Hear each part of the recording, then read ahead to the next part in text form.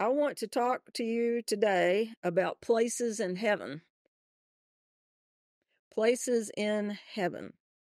Now, there's a scripture that we're familiar with in Ephesians chapter 1 and in verse 3, and it says, Who God has blessed us with every spiritual blessing in the heavenly places in Christ Jesus.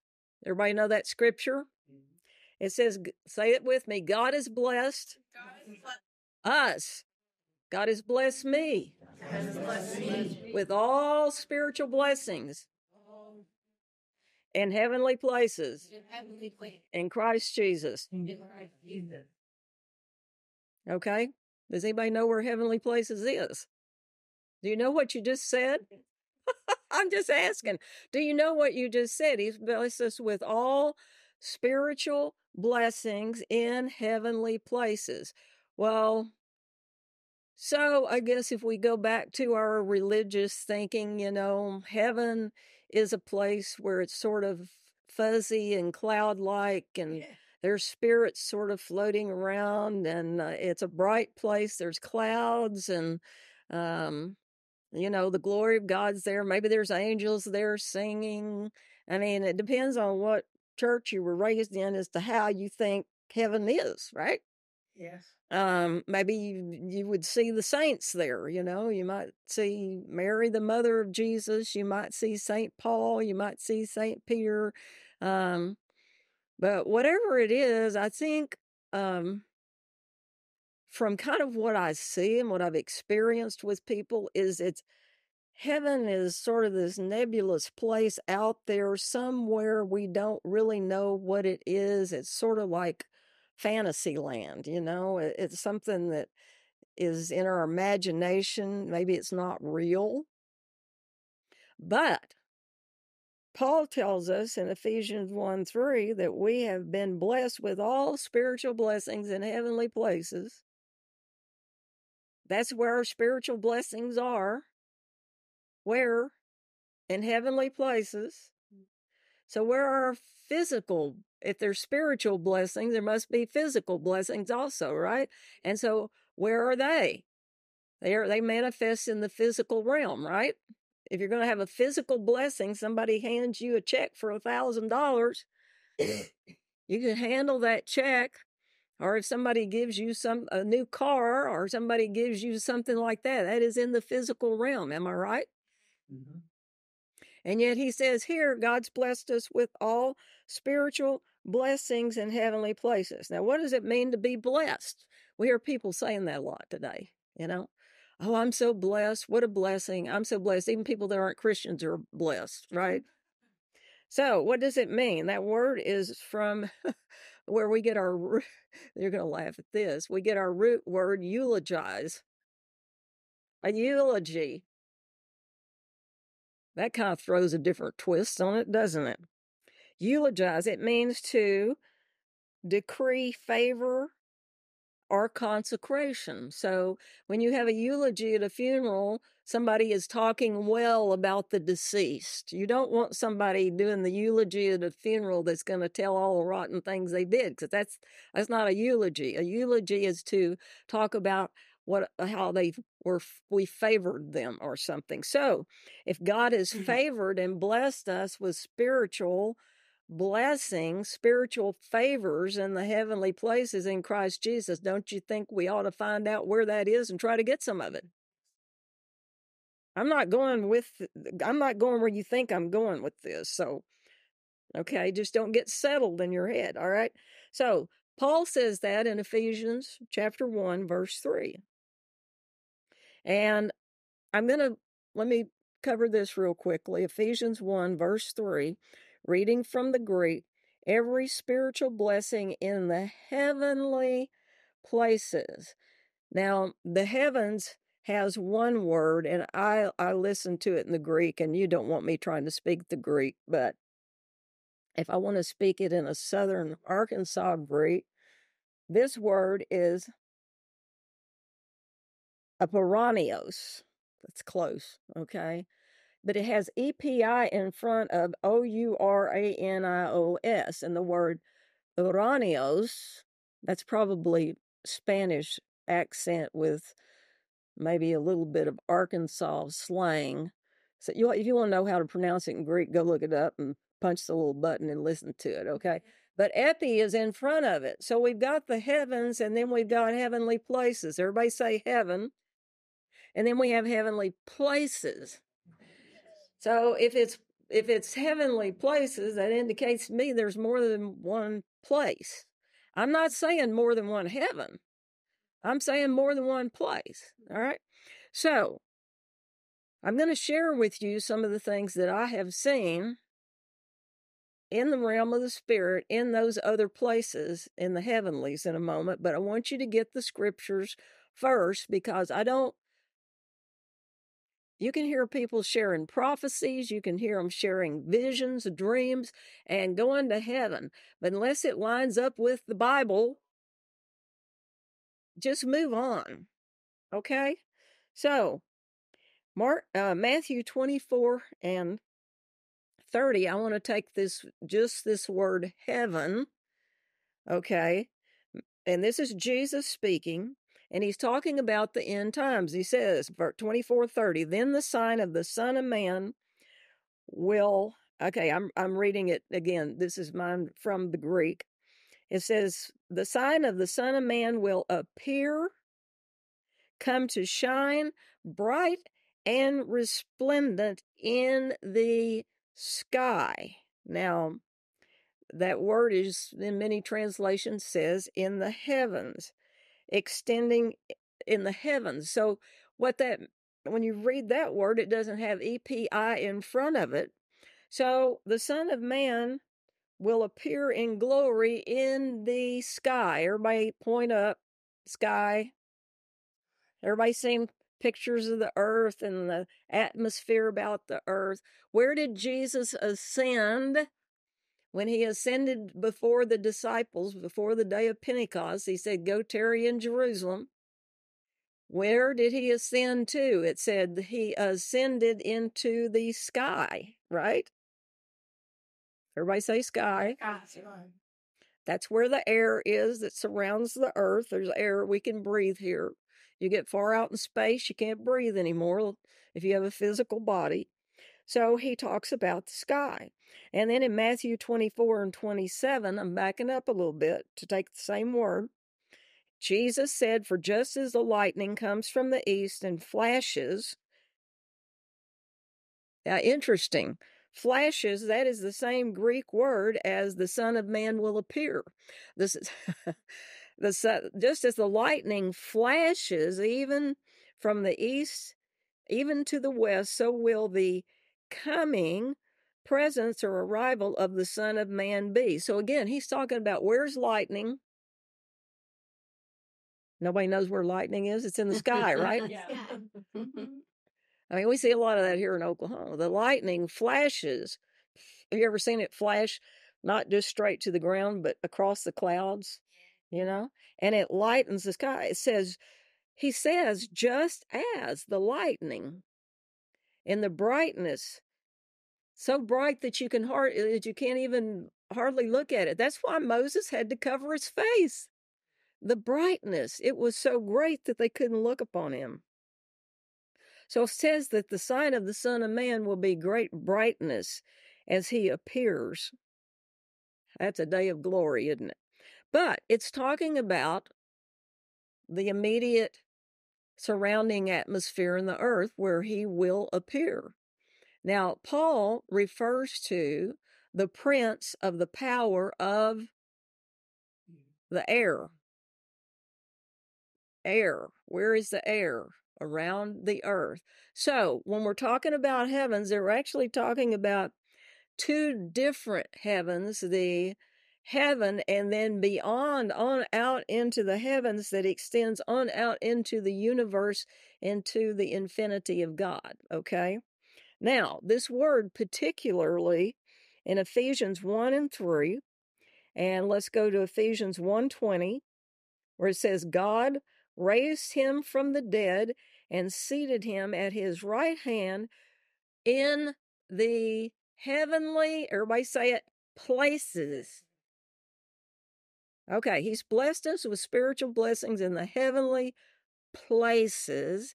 And it says God raised Jesus and seated him at his right hand in the heavenly places. And then in Ephesians 2 6, he further carries this on. Same guy, Paul, the apostle, says, and he has raised us up with him and seated us with him in the heavenly places in Christ Jesus. Now, you think he ought to be through with heavenly places, but he's not. Okay? Ephesians 3:10 says, "So that through the church the manifold wisdom of God might now be known to the rulers and authorities in heavenly places." Hmm. Hmm. Wait a minute. What? His wisdom is manifest. His plan and his purpose is manifest so that through the church, who's the church? Yeah. We are.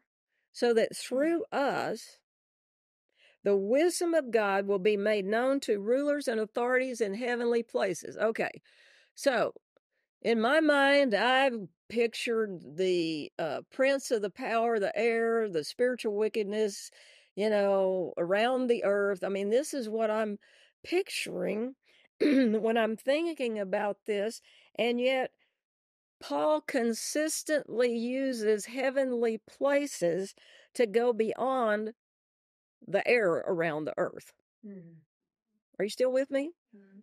He consistently uses that same word. Might make be made known to the rulers and authorities in heavenly places. So who is he making his wisdom known to? Spiritual beings in the heavenly places. What spiritual beings are in the heavenly places? Well, you know, if you have loved ones who have passed that knew the Lord, well, they're in heavenly places. Amen. Yeah. If there are angels serving God, then they come and go from heavenly places, right? Mhm. I didn't get a big amen there. But there, everybody agree there's angels in heaven? Yeah. You know, I mean, we see that scripturally. There are angels in heaven. All right. So there are angels in heaven. But what else exists there that we are unaware of? Is heaven just a place where we float around on clouds? And no, it says, it says right here that through the church, us, God's wisdom will be made known to rulers and authorities in heavenly places. That includes the rulers and authorities, if you want to go on the hierarchy of the angelic rulers. There are angelic rulers, there are good ones, and then there are those that rebel. They're ones that serve God, they're the ones that have rebelled against God. And it says in heavenly places, He is making known His wisdom through who? Jesus? Well, no, it says through the church. Yeah. How are we doing so far? Hmm. How are you doing so far making known God's wisdom to the rulers, the the uh, authorities, the angels, the archangels, the wisdom of God? Just asking. I told you we're not going where you think we're going. All right. And then in Ephesians 6 12, we're still in the book of Ephesians. It's still the Apostle Paul. He says, For we not, do not wrestle against flesh and blood, but against the spiritual forces of evil in heavenly. Places. Mm-hmm. Whoops. Well, that kind of shook up my my vision, my imagination, because I thought they were around the atmosphere and the earth. Well, they are. But it made me wonder, and so I read the book of Job again. Everybody goes, Oh boy, I don't want to read that. No. I read the book of Job. And it starts out with a fascinating thing. The angels of God came before to present themselves before God. And when they presented themselves before God, he said, What are you doing? Where have you been? And they started reporting. They've been going to and fro throughout the earth. Mm. And it says that Satan appeared. How dare he? Really? He would appear before God? Well, in that particular instance, it says he appeared before God. And he indicated, and there was other time that a spirit volunteered to be a lying spirit. So what what are we talking about here? Is it possible? I'm going to sound like a documentary here. Is it possible there are other beings in heavenly places besides just our mm-hmm. narrow view of angels with wings and people that have passed? Yeah. Is it possible? I'm just asking. It says if we're wrestling against spiritual forces of evil in heavenly places,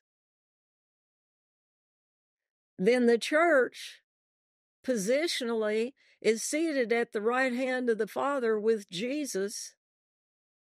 And if you've listened to the TV programs we've done, this is what the whole point is.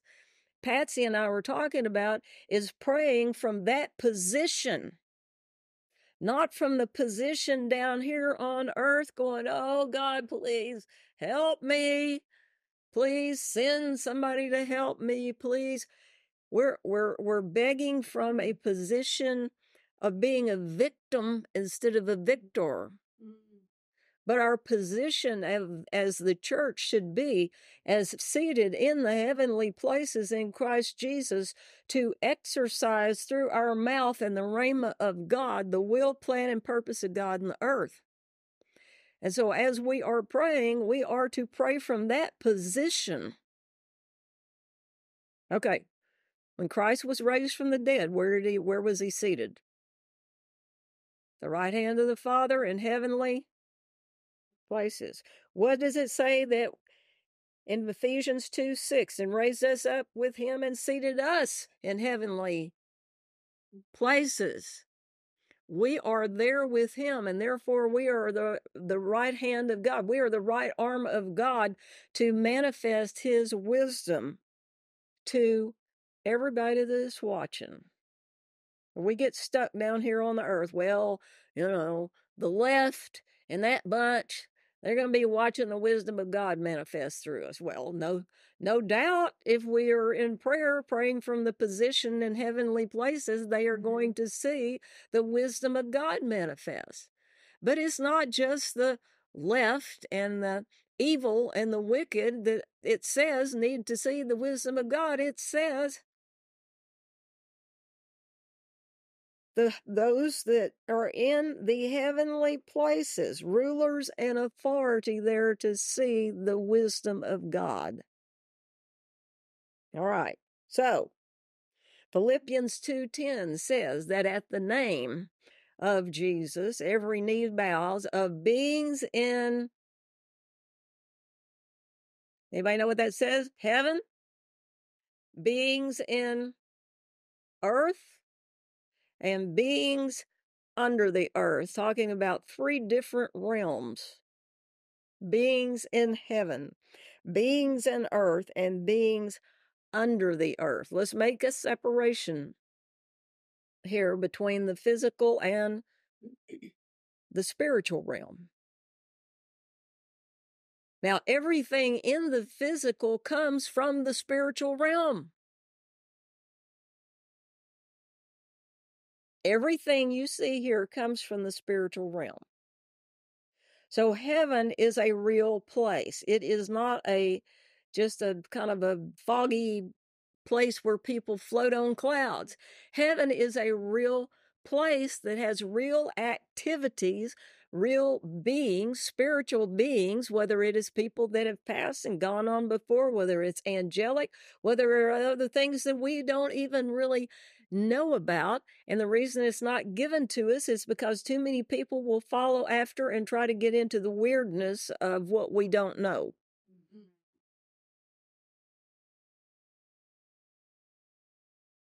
I said the weirdness of that what we don't know. If you push into spiritual weirdness, I promise you there will be spirits who will oblige you. They want to talk to you. What do you think happened in Genesis chapter 6 when it says that the angels of God took unto themselves wives of all they chose? How did they do that? Well, you know, up until that point, you see the celestial beings, and I'm going to say that because I want you to get off of the thing that it's only angels, the celestial beings that appeared to humans before Genesis 6. Just they were here. The watchers, the cherubim that kept that uh, that kept uh, Adam and Eve from eating of the tree of life. There were spiritual beings here on earth that were seen, and it was normal Mhm. to these people.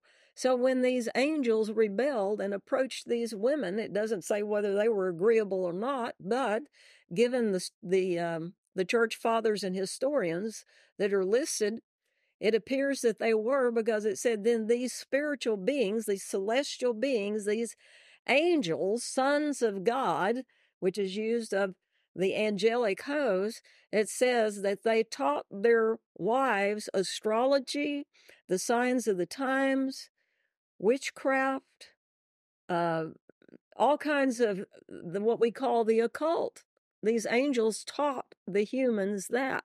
So through this discussion and this thing that happened in Genesis 6 when God wiped everything out. There were only eight people left on the earth that hadn't been contaminated by angelic DNA. I'll put it that mm. way. Only eight people left on the earth. Millions here, eight people left on the earth. It all got wiped out. And after that happened, then we see the, the teachings that came about about forbidding astrology, of forbidding all these things. And I want I want to make a difference here between astrology and astronomy yes. because my husband's an amateur astronomer. And when I tell people that, the look on their face, they're horrified. How could the husband of Charles Capps be an astrologist? This is what they do. There's a difference between astrology and astronomy. Astronomy, and Heather's sitting here, you know, she looks at the stars, got a telescope, and you can see, you know, the craters on the moon. You can see the rings of Saturn. You can see the moons of Jupiter. It's just really a cool thing to do. That in no way reads your chart and tells you who you're going to marry. Now, they are associated, okay? They are associated in that astrology uses the stars and it uses the location of the planets to say to predict the influence on humans, okay? And everybody knows that there is some influence there, but wisely God told us to stay out of that stuff. Don't practice it. Don't commune with celestial beings unless they come to represent God Almighty, the God of Abraham, Isaac, and Jacob. We are not to commune with celestial beings. All right? Have I made myself clear on that part? Mm-hmm. There's so many places I could go with that, and I'm trusting God to keep me on track today. So, I want to talk to you about some places in heaven that I have seen, and I have never shared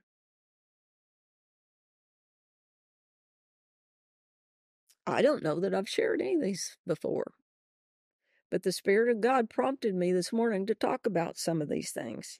So the first one, I'm going to break you in easy, okay? Uh, around 1972, 73, I was, uh, Beverly and I uh, had a, a retail store in England, Arkansas, a ladies ready to wear uh, dress shop, you would call it back then. People don't wear dresses much now, but it was a clothing store.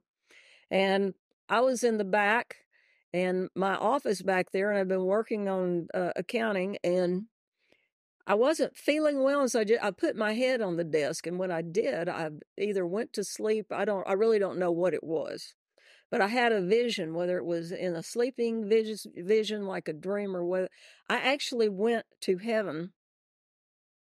And it was not, you know, I can't speak for everybody else's experience, okay? But I'm just saying, with me, things are just sort of normal, down to earth. I'm a farmer's daughter, and I don't really get into the ooh stuff much. You know, I don't think I do it all actually. But anyway, I went to heaven and it was absolutely astounding what I saw. I wasn't floating around. I feel pretty much felt pretty much like I feel here, except I was in the most beautiful place that I've ever seen. And of course, God's going to probably show me something different than maybe he would show somebody else. But the colors in that place were so vibrant and I was outside, of course. I was outside and the grass was a green that was just it's just indescribable. The green here, we see beautiful lawns, you know, that are, but it just doesn't compare to what, I, and I can't describe why. It's like it's alive. The colors are alive, you know?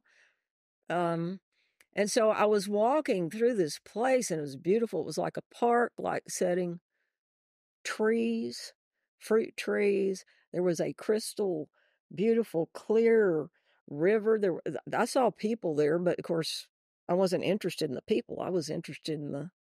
countryside. so I was wondering, and I came up to this tree. I just was fascinated with this tree because its leaves were sort of shimmering and I walked over and I could see fruit. And so I took the fruit and it would be, be comparable to maybe what you would say a really ripe peach, you know? And the peaches you get in the grocery store, you know, picked when they're green and whatever. I mean, this this fruit was ready to be eaten, and I picked one off, and it was just it was soft, and I just took a big bite of it, and the juice was just it was the most delicious thing. But it the juice, you know how if you bite a peach that's really um, ripe and the juice kind of starts running down your chin, you know, and kind of drip on you, you know. You've had that experience probably. And so I did, and I could feel it, but as soon as I finished it, it was gone. It wasn't sticky. It was gone. It didn't, there was no after effect, should I say. It was just delicious.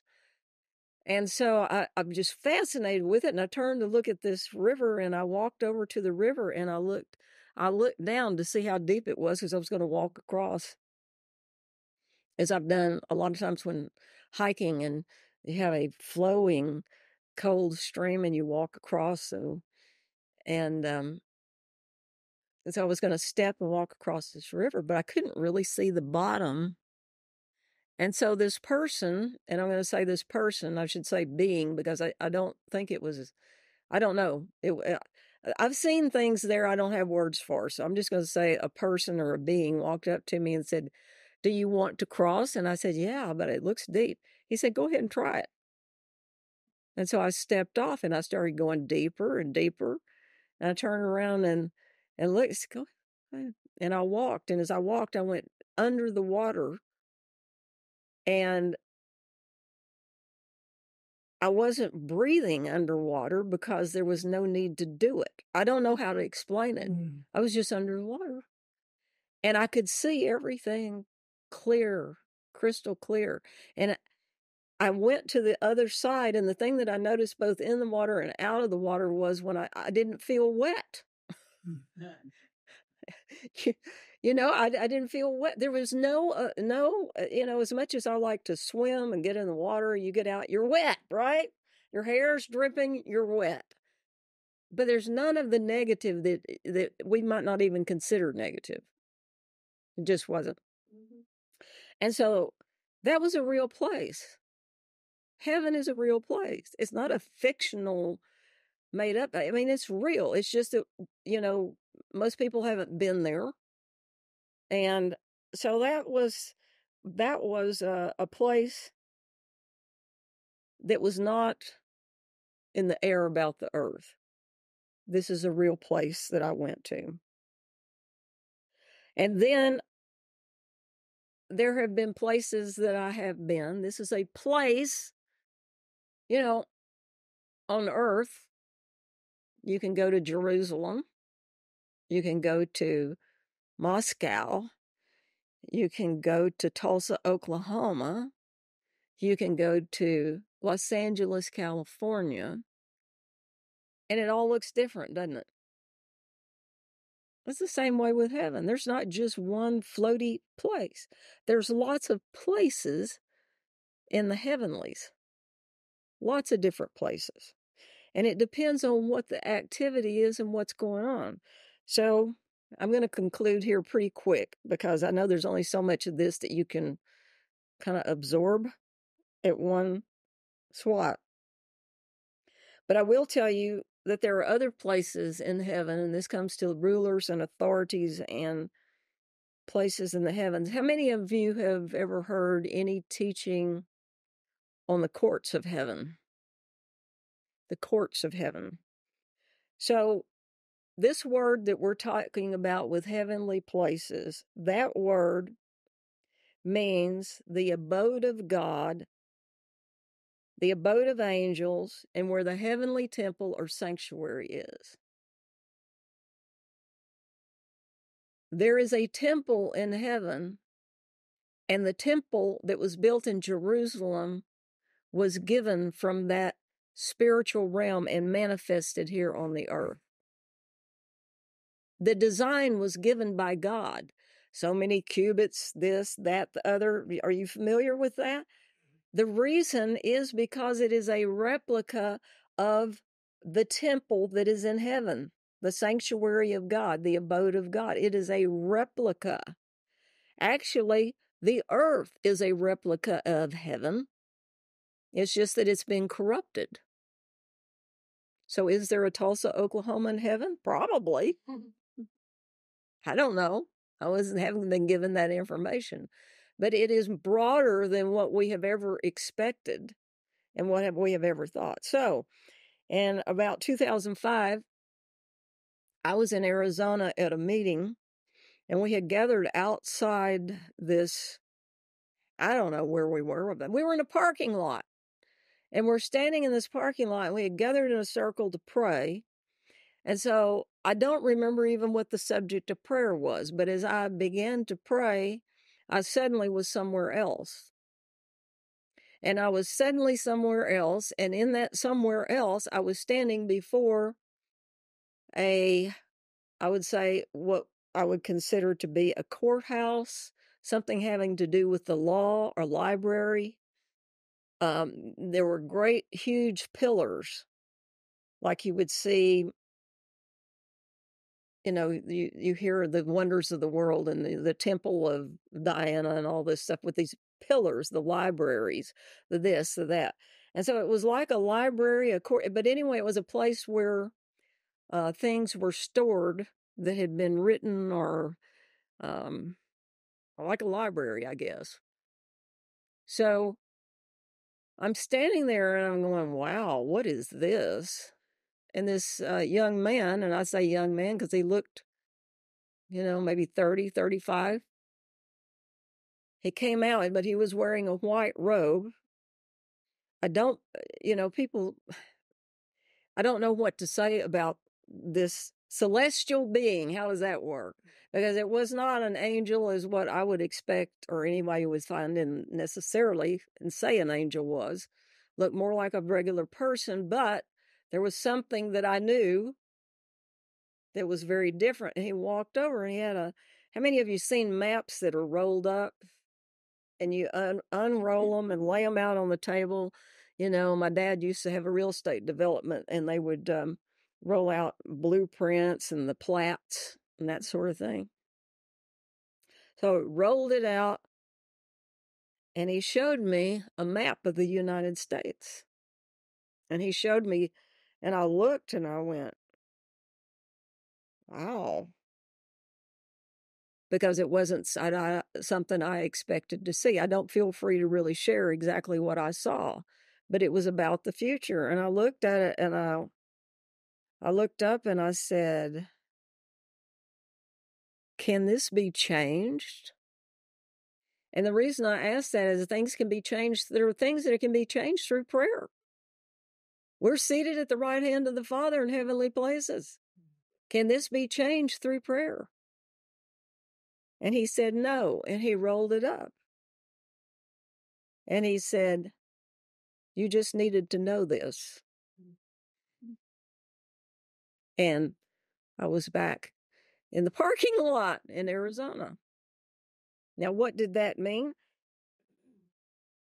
I've been waiting quite a while since 2005 to know exactly what that, that meant. But for some reason, that was something that needed to be imparted to me. Now, this makes it sound like I don't want to make it sound like I go to heaven, you know, I pray and I go to heaven every time. I do not. Absolutely not. I I'm concerned about when I hear people do that sort of thing. This is over a period of what, 40 or 50 years? And then I'm going to share one last thing because I believe this is very relevant to our position of being seated at the right hand of God in heavenly places.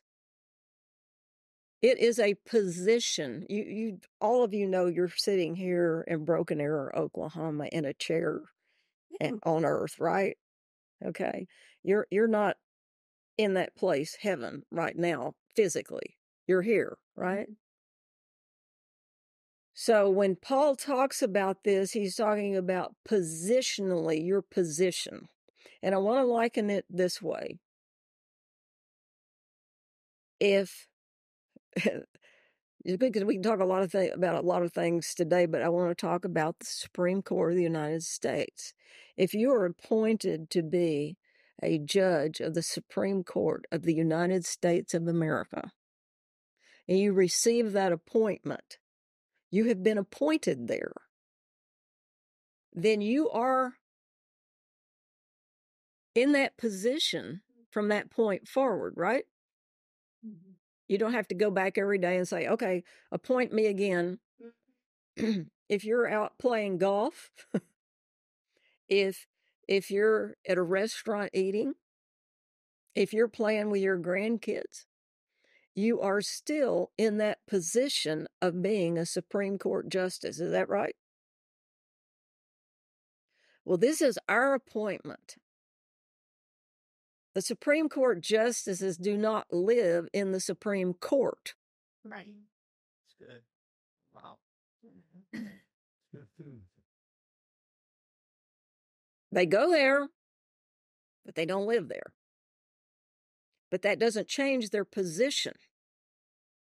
And so, even though you are here on earth, everybody here agrees they're here on earth, even though you are here on earth, your position is still what it is in the heavenly places, which is you are there to find the counsel of God and pray and speak the counsel of God and live out the wisdom of God, both in heaven and earth. You are a dual citizen. Everybody say, I'm a citizen I'm a citizen of heaven. I'm a citizen of earth. It's dual citizenship. Dual.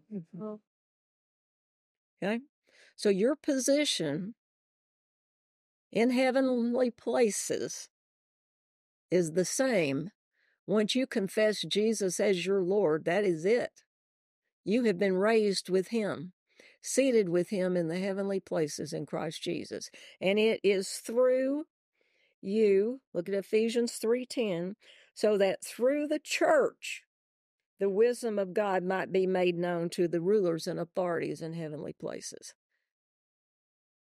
It is not to angels that the world to come has been subjected. It will not be ruled by angels. It will be ruled by who? Us. Us. We will rule we better get started now. Mm-hmm. Yes.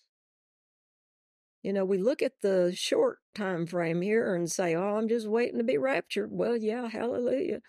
But guess what? You're going to have a 7-year vacation, then you're really going to be busy. Are you getting this today? Mm-hmm. Heavenly places. All right. So, this last thing I want to mention to you happened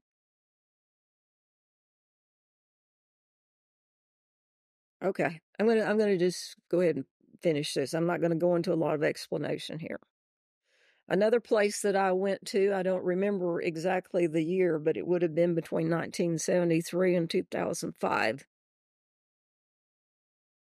And I was praying and asking God some questions about things, and suddenly I was in a place, and this place was a plain, and it was flat, you would maybe call it a desert if you wanted to, but there were no there was nothing. There were no mountains, there was no scenery. It was a flat place as far as the eye could see. And the weird thing about it was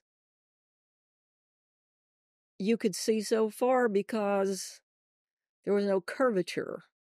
Does everybody understand what I mean when I say curvature?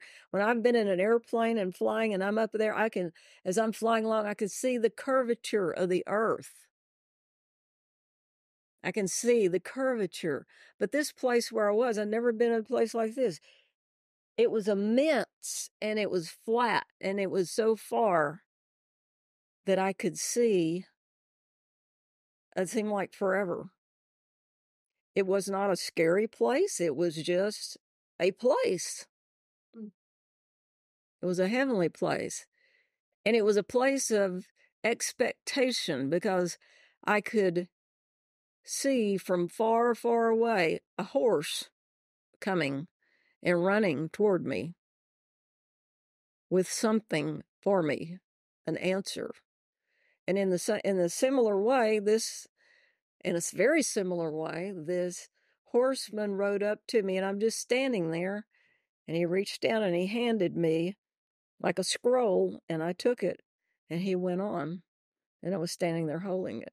And I believe that this is something for the future. Now, whether it's the future before the rapture, the future after the rapture, but he handed something to me. There you can receive things from heavenly places and you don't know what they are and where people get in trouble is they try to put an interpretation on what happened and they get off into the weirdness of what we don't know. Mm-hmm. But that was a place and i'm talking about places in heaven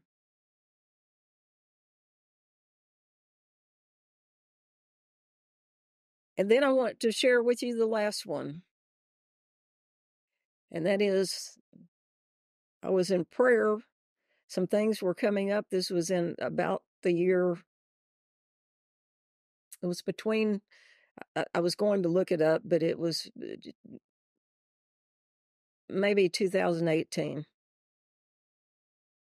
And I was in prayer, and the Spirit of God led me to begin praying for the states of the United States.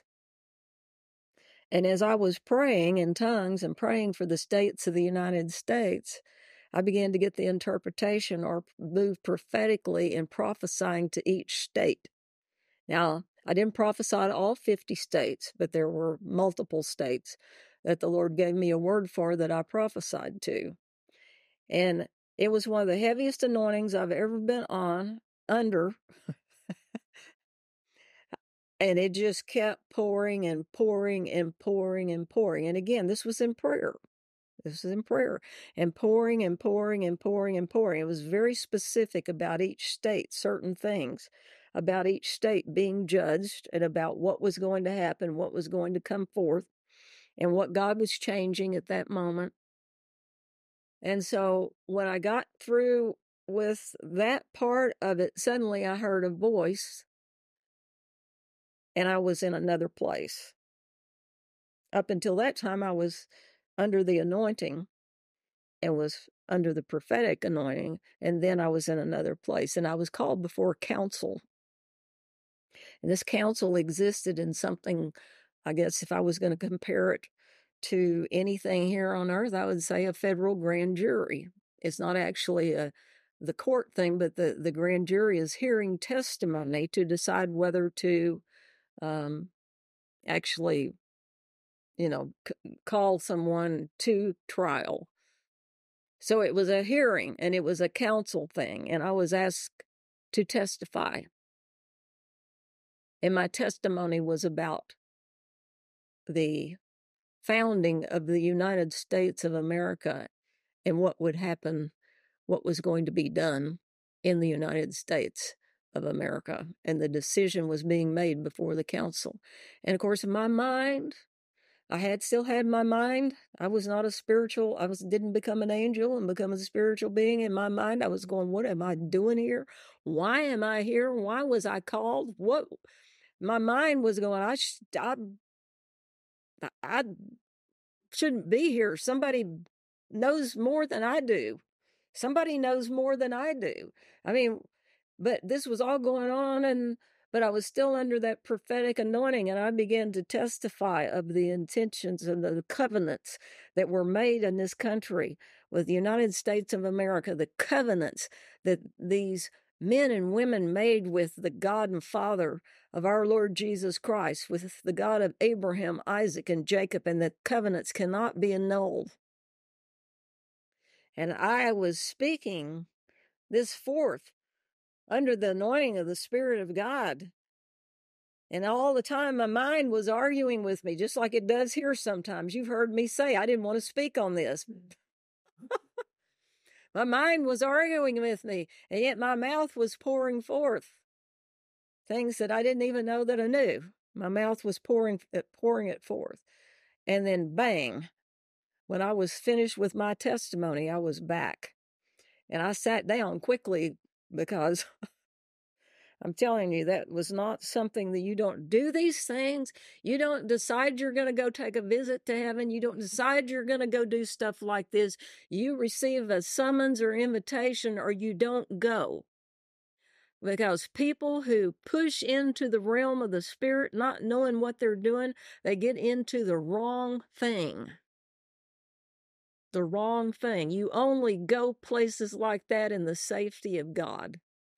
And I haven't shared this over the years because of various reasons. One of them is I've heard way too much of people jumping up and telling stuff just to make a big splash and get a big YouTube video or or put a book out to you know to get attention but that's not what this is about what this is about is you the church there are heavenly places that you, the church, you, the church, must visit positionally and exercise your authority to see to it that God's wisdom is shown to every celestial being, every ruler and authority in heaven, on earth, every ruler and authority that is on God's side and every ruler and authority that is on the enemy's side. It is through us, the church, that we are to make these things known. And you can sit there and folks that are watching on YouTube, you can say, well, that's Annette Capps. That's because no, no, no, you've missed the point. The point here is I've been to some of these places because God took me there kind of as a, a forerunner but this is a place where you, every one of you, needs to awaken in the morning and know what your position is. Just like the justices of the Supreme Court wake up every morning, and I bet you they know they're a Supreme Court justice.